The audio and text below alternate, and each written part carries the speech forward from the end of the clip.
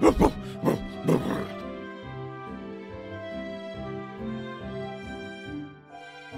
I worked on the Titanic as a sea dog, but I didn't expect to become a big legend.